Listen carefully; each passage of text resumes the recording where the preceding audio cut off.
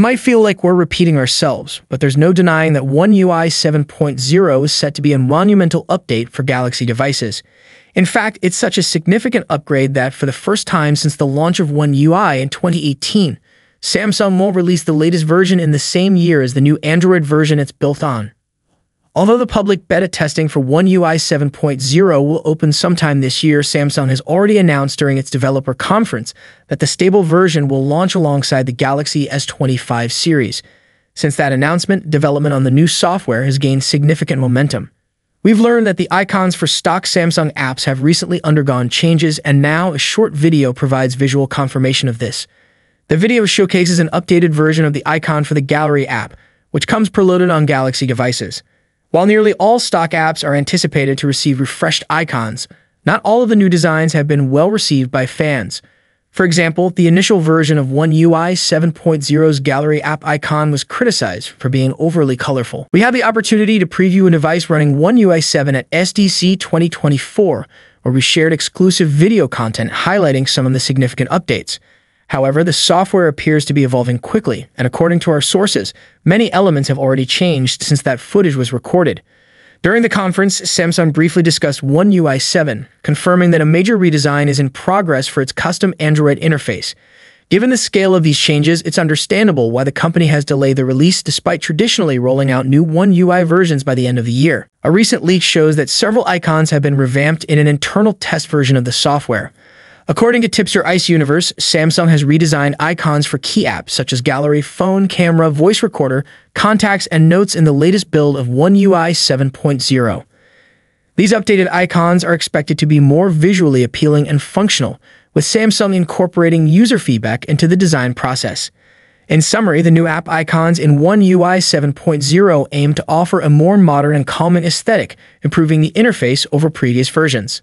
According to reliable tipster Ice Universe, One UI 7.0 will be Samsung's largest upgrade yet, focusing on improving system stability, smoothness, and enhancing the fluidity of animations and transitions.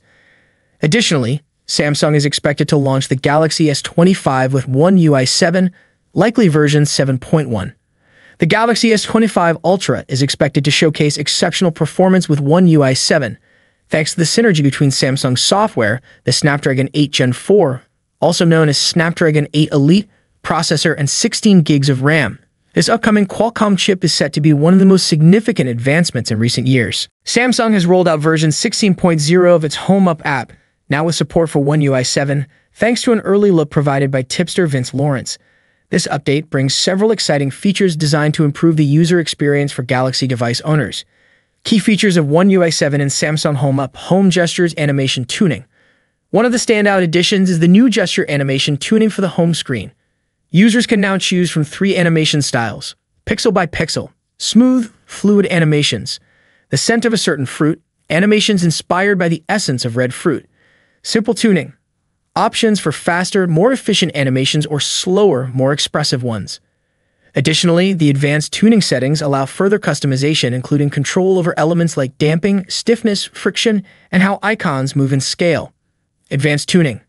This feature offers more detailed control over animations, enabling users to adjust scale, duration, and blur effects on the home screen and wallpaper.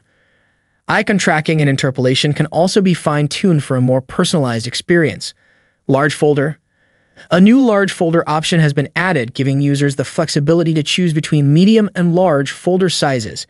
The existing large folder sizes remain unchanged, but users can now customize the folder grid and icon sizes for better organization. Pop-up folder. Pop-up folder functionality has also been enhanced, offering small, medium, and large size options. Additional settings allow for variable sizes, fixed positions, and the ability to hide the edit bar or remove blur effects, providing a cleaner, more efficient interface.